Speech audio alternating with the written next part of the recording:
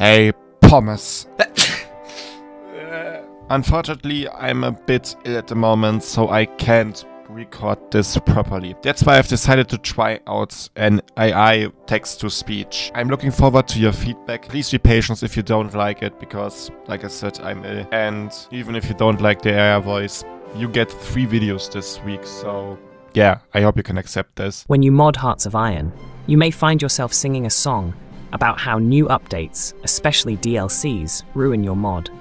Since it has happened again, and I don't know of any other tutorials, I want to show you how to fix it. In general, there are usually two reasons why a mod crashes after an update. Either something has changed in the research, or the map has gained more states. Here, we'll focus on the map. Now, there are two possibilities here. Either you have made changes to the map yourself or not. If you haven't, you can skip the next part. Here is a timestamp when it becomes relevant for you again. So, you've changed the map, probably using the nudge tool. Congratulations! Now you'll need to learn how to do it without the nudge tool. Even though you can theoretically create new states with the nudge tool and copy everything, you would need to update all decisions, focuses, and anything related to the states. This will lead to problems, so let's avoid it. We now need to search through two folders, the map folder and the history slash states folder. You must be aware of which states you added, and it's best to mark them in all files we'll talk about, as I did. The first thing you need to do is to find the states that have the same number or ID as in vanilla and copy them into your mod.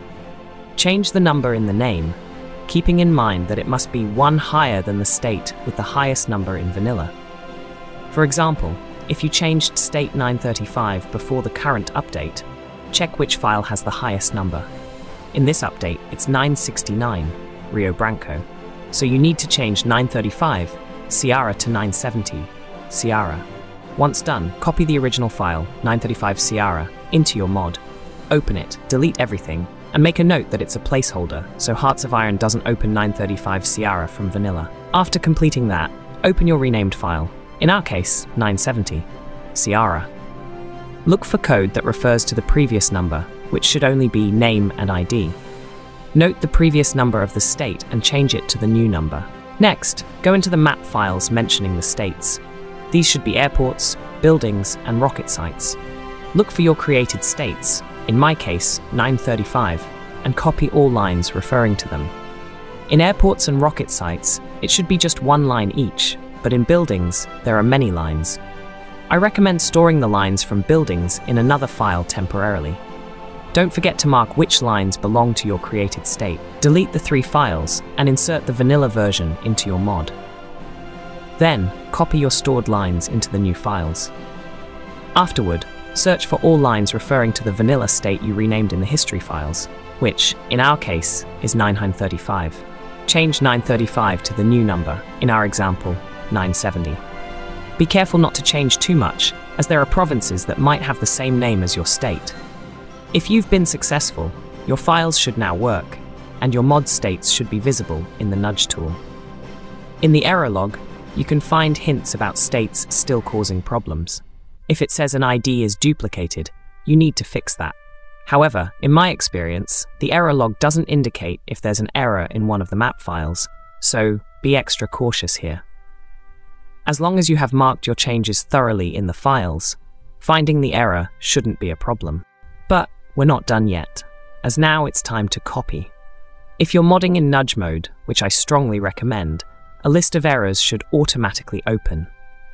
If you're modding in the regular Hearts of Iron mode, you'll find the error logs in the same folder where your mods are. You just need to go one folder back and find the logs. Now filter by states. If you find lines that look like these, then you're on the right track. First, copy all new states from Vanilla Hearts of Iron into your mod. The new states are obviously the ones with a higher number than those in your mod.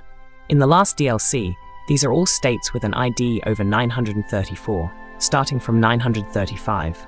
Sierra, you have two options now. Either delete all content from the files so that you only have the old Hearts of Iron states on your map, but this can cause map problems, so I wouldn't recommend it.